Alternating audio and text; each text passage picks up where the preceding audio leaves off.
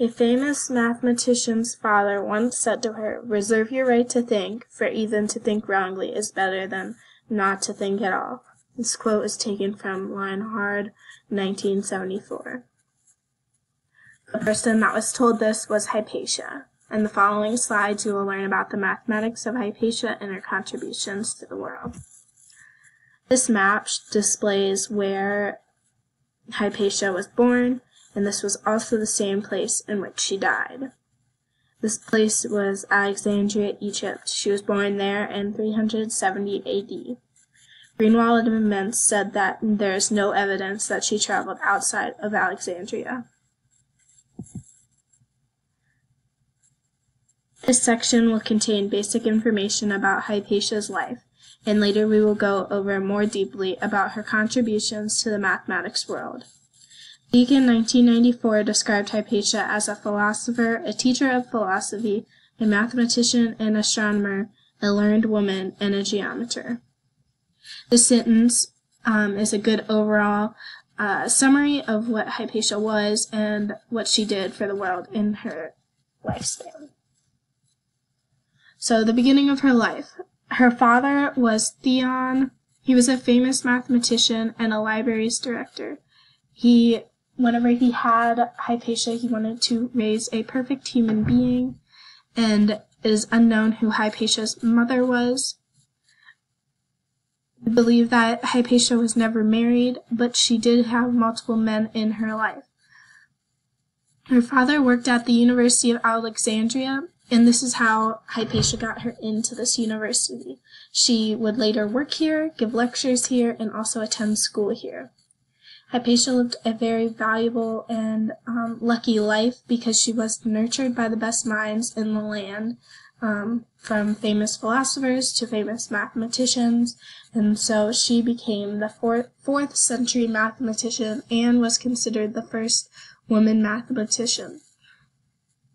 She also worked with astronomy, medicine, and philosophy. So not only was she a famous mathematician, she was also helpful in helping these other categories. In the following slides and previous slides, we believe most of this information about Hypatia to be true by historians, but the writings of Hypatia have all been lost, so what we know of her thoughts come from citations and quotations from the works of others.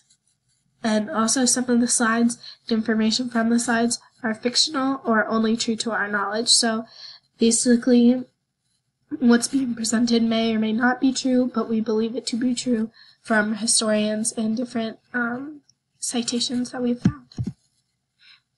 Hypatia lived during a time where there was a struggle for power in Egypt, and because she was a philosopher and also well known, her and her beliefs were different and would eventually put her in the center of the struggle for a political mastery of Alexandria. So not only was she famous for mathematics. She also um, was put in a tough spot because she was preaching different beliefs than what was normally accepted in Egypt at the time.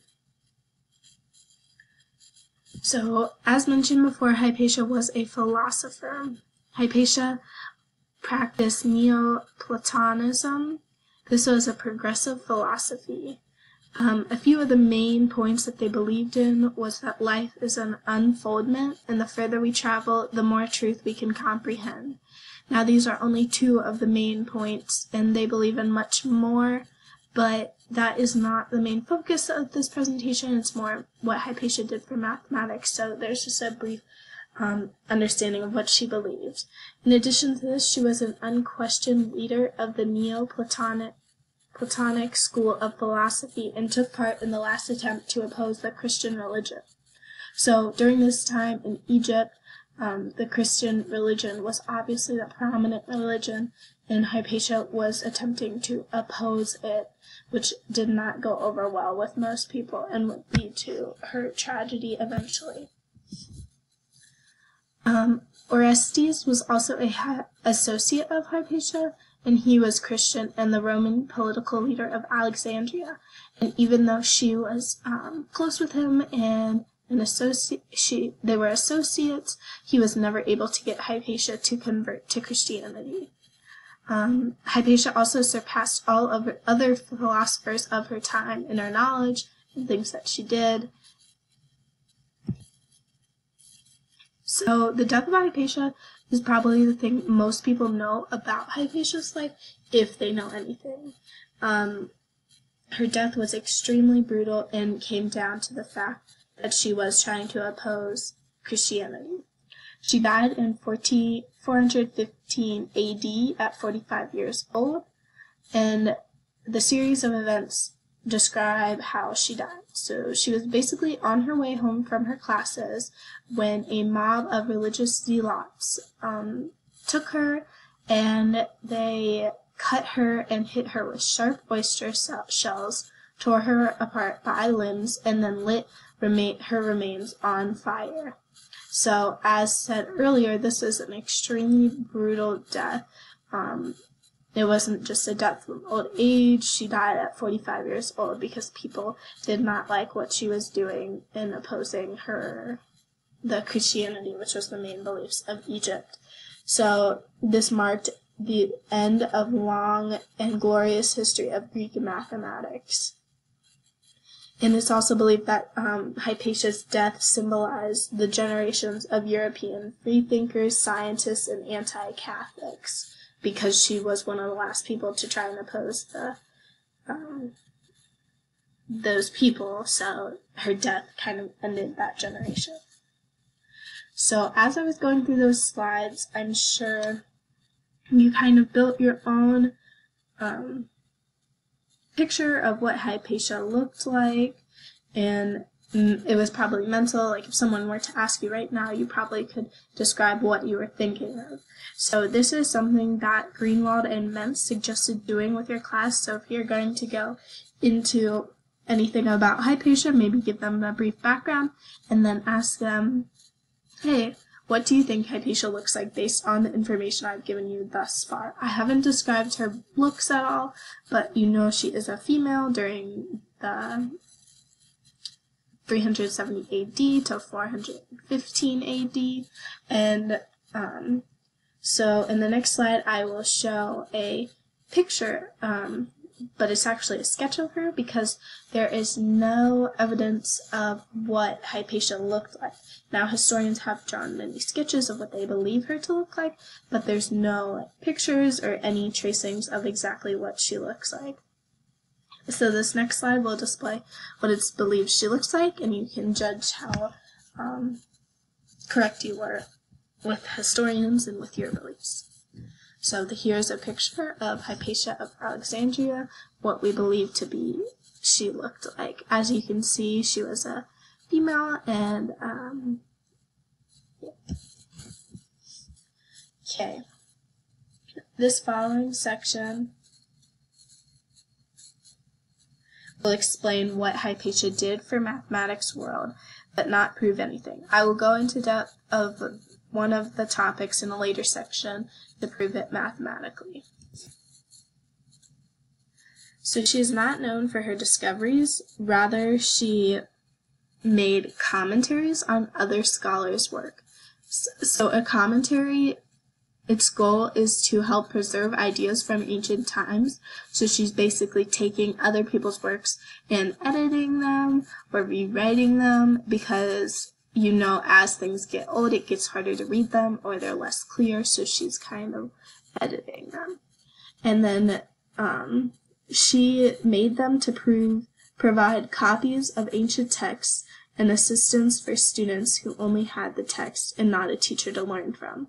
So I think this is interesting because we have textbooks to kind of supplement our classrooms in today's society and not um, use them full on, but she was writing these in an attempt to help students who did not have a teacher and only had the text. So another intention she had of her commentaries were to help her own students better understand difficult topics. So as stated previously, she did work as a professor and teacher at the University of Alexandria. And so during that time she was making these commentaries and she did that in order to help her students understand difficult topics even if they did come to our lecture, they might still be struggling, and these commentaries were a way for them to read them and understand them better. So eventually, her commentaries became so developed that people would come to the University of Alexandria from far places to hear her lectures. We believe that she lectured on topics like Diophantus's Arithmetica and his techniques, his solutions, and the symbolism of this writing. And then also, we believe she lectured on Plato's and Aristotle's ideas. So, without Hypatia's commentaries on Diophantus, we would have much less of his works because we know that he was even before Hypatia, and we have so little on Hypatia that without her works and commentaries on Diophantus, then we may not have anything of him. She edited works on geometry, algebra, and also astronomy.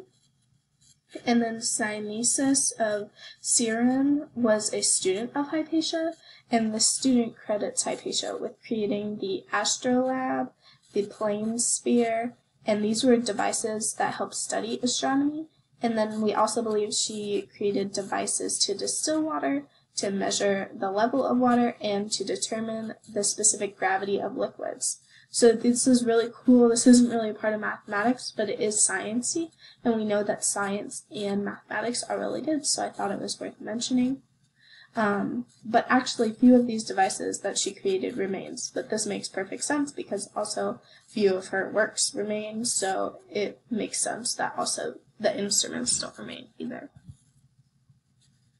So uh, basically, a commentary can be compared to a new book edition. So you have to buy textbooks, and it usually says like third edition, fourth edition. And then the author of a commentary, so Hypatia, is essentially an editor. So those people are taking older works and maybe translating them to a new language or making them simpler to understand based on um, more modern findings about how to solve problems. So we're only going to go into three of the four commentaries because one of the commentaries is um, about astronomy and it's about Ptolemy's Algam- Almagest, and that's more science based. So we'll just go into her three um, commentaries about mathematics topics. So first dealt with Archimedes' dimension of the circle and this um, had Greek and Arabic copies, and the Arabic version was more clear, um, careful explanation and was more had more clarification than the Greek one. So they believe that a it had to be written by a master teacher, which is why historians think that Hypatia had to have helped write the commentary on Archimedes' dimension of the circle. And basically, this um, created a good estimate of the ratio of circumference to diameter, which is what we now know as pi. Diophantus's Arithmetica is um, an algebra topic, and it introduced symbols. It contained problems with many solutions and indeterminate analysis. And the Hypatia's commentary on this work just shows how versatile she was and how um, great of a mind she really had. And then the third one, Apollonius's conics. This is the section we'll be diving deeper into and proving more in a later slide. Um, but this works use parabola, ellipse, and hyperbola, all named by Apollonius. And we will, um, like I said, explore this more in following slides. Okay, so classroom applications. Um, most of us in this class are going to be high school or middle school mathematics teachers. So really, while we're doing this research, we want to be thinking about how can we apply what we're learning into our future classroom. And that's what I will um, show you in the following slides. The following activities were all suggested in an article by Greenwald and Mentz. Um, so the first one they suggest is to go through um, one of Diophantus's algebraic equations that is contained within one of Hypatia's commentaries on his works. So basically what you would want to have your students do is take one equation and give it to them and see if they can work to translate the problem into modern notation. And then once they have it in modern notation, you would want them to try and solve the problem. And then you would have different presentations to the class to see about if everybody did it the same way or if there were different ways to do it. This is similar to what we've done in some of our discussion boards in this class. So when we had to like take one of the equations and translate it into modern notation or relate it to what we do today to see how it affected what we do today. So the second activity suggested by Greenwald and Mentz was to use GeoGebra with your class to have them analyze the ratio of circumference to diameter. Um, by doing this, they would be looking into the commentary done on Archimedes' dimension of the circles, and um, this gets them to think about what pi actually represents rather than just thinking we know pi represents approximately 3.14 and that's why we're going to use it. They would actually know the definition of pi and why it works and why, um, how it was discovered. In addition, using GeoGebra allows them to use technology to keep their answers mathematically precise. This third one I'll actually kind of work through. I won't do it um, entirely the math part, but I'll show you the different steps. But first I'm just going to read through the different steps. So um, they tell you to walk your students through how to prove one of Archimedes' theorems that um, Hypatia would have wrote a commentary on. The theorem states that for any circle, one half the perimeter times the radius is equal to the area. So um, the following slides will explain the different steps or questions to ask your students to get them to um, prove this theorem, how Archimedes and Hypatia did. So first you would construct and find the area of a square inscribed in a circle of diameter 6 inches as shown, and then you would, um, Archimedes knew the Pythagorean theorem and other facts, so as your students were doing them, this you would want them to state any facts that they use, and then after that they would bisect the arcs formed by the inscribed square. Then they would obtain four new points, and then you would connect these points and the corners of the square with straight lines to obtain the octagon in the picture. Um, essentially, they would be making an octagon, and then they would want to find the area of the inscribed regular octagon. Um, you would have them give their answer in exact radical notation and also approximate to four decimal places. After that, they would find the area of a square circumscribed about the same circle we started with in question two. And then you would ask your students, what bounds have you now found for pi? So their answers would be like, blank is less than or equal to pi is less than or equal to blank. So like they would have bounds for pi. Um, you would want them to approximate their result to four decimal places, and then ask them to calculate the area of the circle with diameter 6 inches using 3.1416 as the approximation of pi, and compare that approximation to their approximations. Okay, so before we get into that, I'm going to go through those different steps that I just read so that you can kind of picture what was going on. So you would want to start with a circle diameter 6 inches. So we're just going to draw a rough circle and then we know the diameter is 6 inches. And then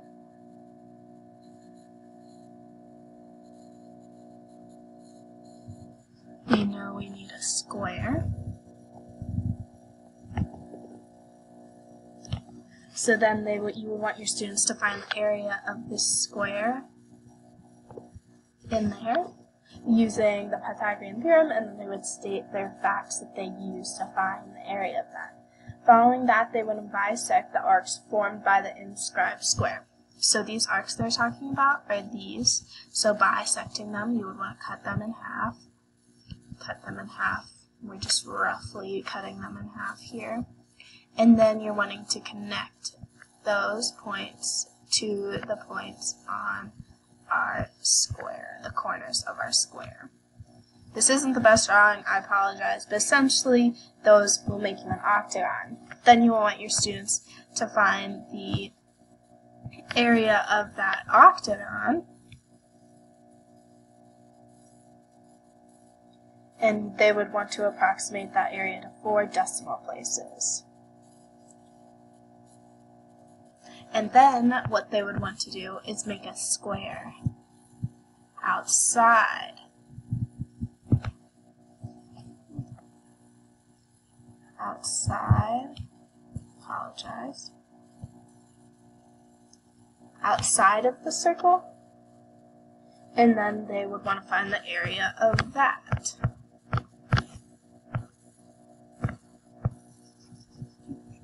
So they would find the area of that,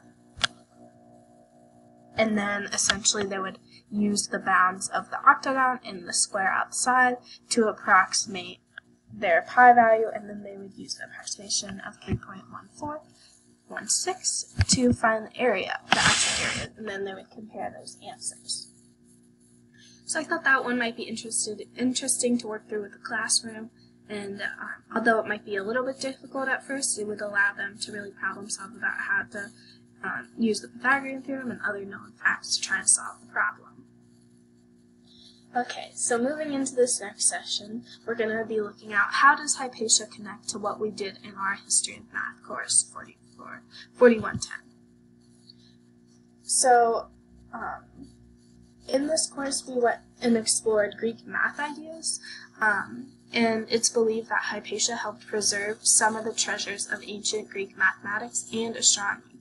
So basically, without Hypatia and her commentaries that preserved um, what Greek Greek mathematicians found out, we might not have gotten to learn about the Greek math topics that we did in this course. In addition, we explored some ideas of Archimedes in this course, and as stated in the last um, example of how to apply it into a classroom, Hypatia made a commentary on Archimedes, the dimensions of a circle, and um, so without that, we might not have learned as much as we did about Archimedes in this course. one less connection that I saw that wasn't essentially to this course, but rather to um, our other math education courses.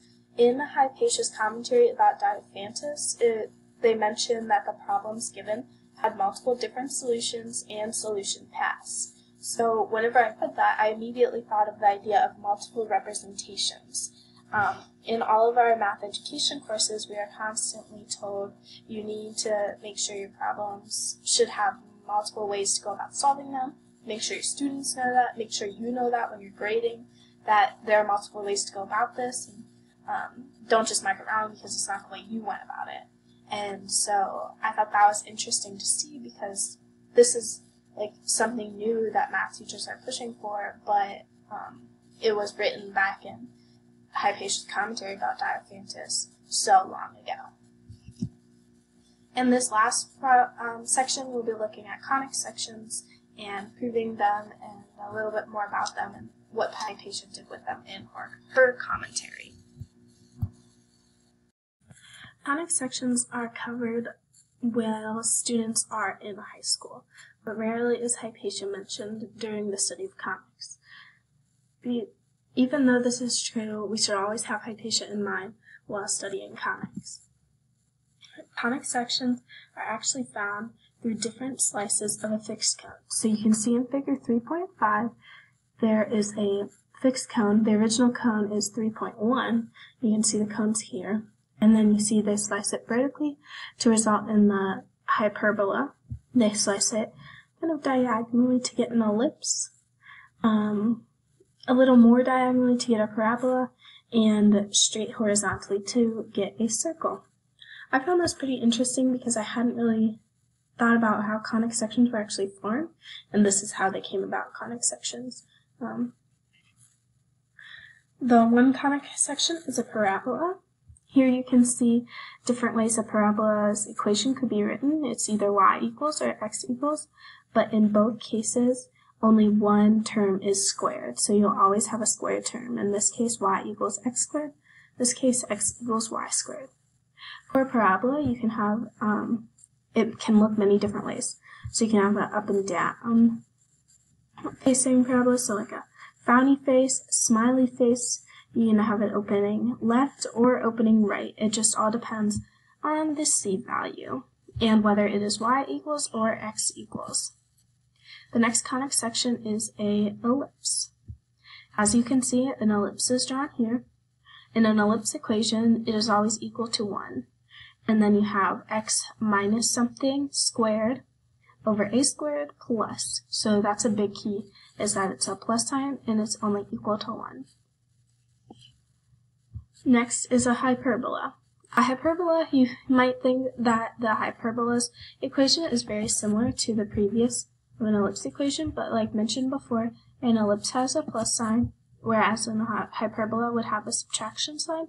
And also there's a difference in the equals to. This one is equal to plus or minus 1, whereas an ellipse is equal to only positive 1. In these pictures, you can either have a hyperbola with two parabolas that open to the left and to the right, or you can have an up-down opening hyper hyperbola, sorry.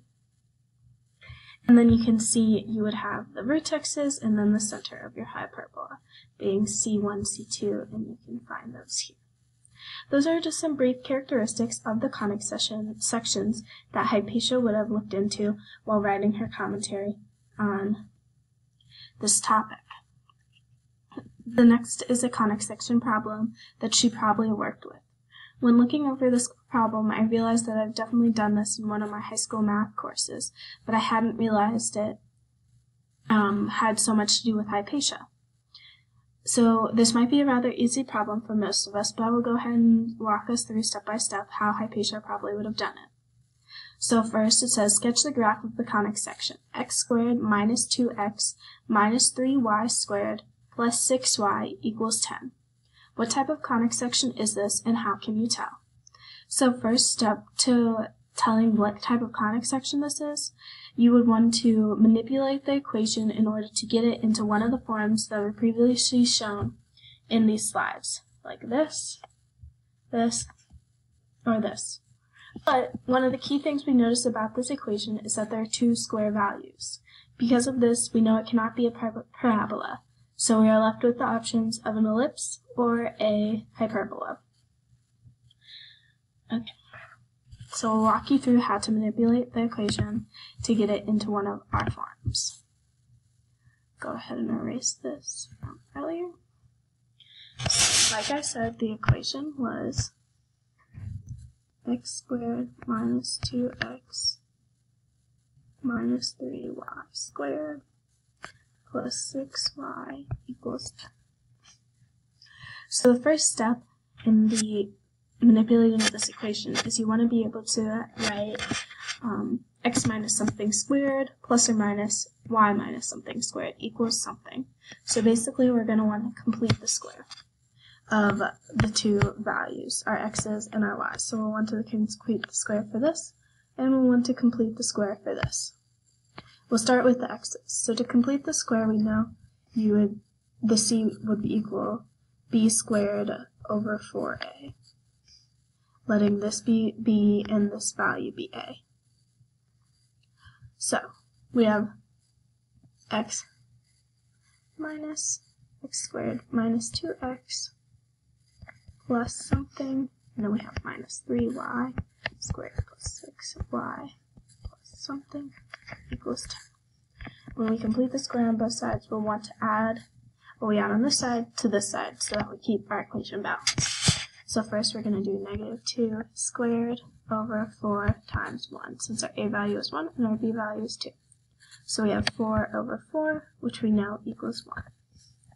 For this one, we're going to do b squared over 4a, which equals 6 squared over 4 times negative 3 which equals 36 over negative 12.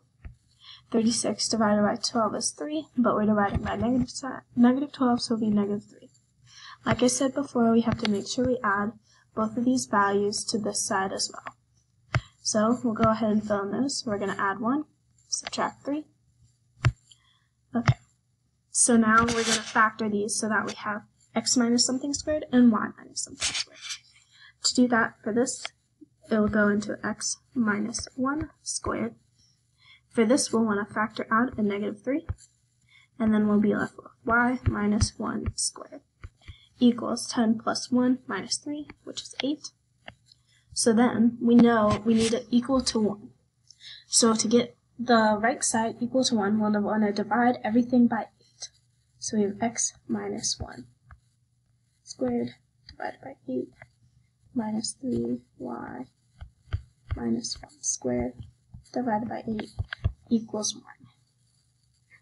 Keeping that equation in mind, we'll go back and look at what are general formulas for the different conic sections. So we determine that this equation is either going to boil down to being a hyperbola or an ellipse. When looking at the equation that we found, we know that we had a subtraction sign between the x values and the y values. That's something that I pointed out earlier, that an ellipse always is plus, whereas a hyperbola is always a subtraction sign. Therefore, we can conclude that the given equation will be a hyperbola. But what will it look like? We will need to use this figure and their values given to us in order to sketch a rough sketch of what this equation would look like. So we'll go back to our sketch pad and try and determine what this hyperbola will look like.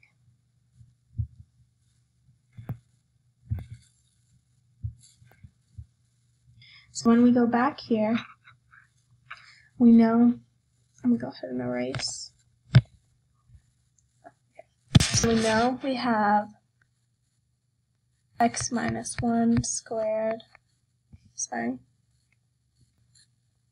minus y 1 squared divided by 8 equals 1.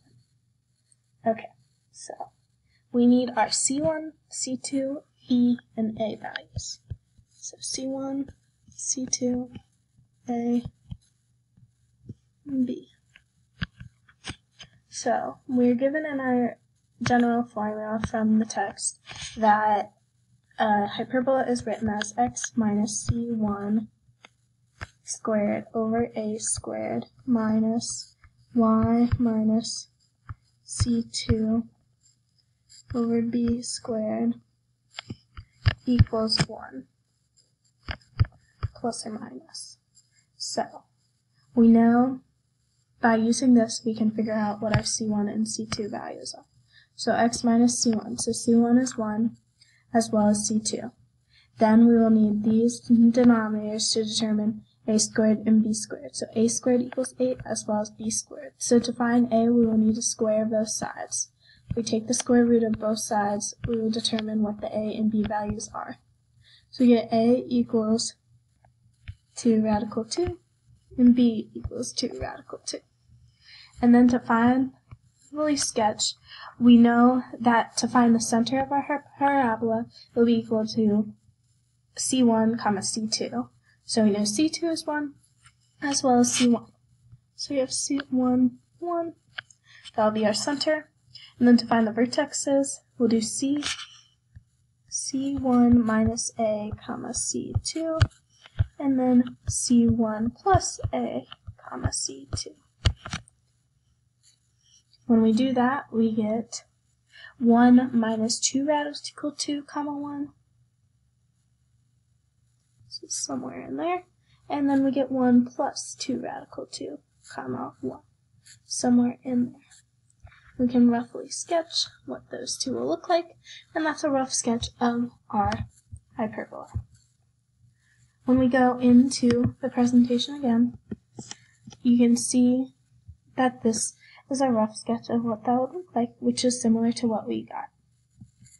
Here you can see my bibliography and all the sources that I used for my background on Hypatia and the mathematics that she contributed to. Thank you.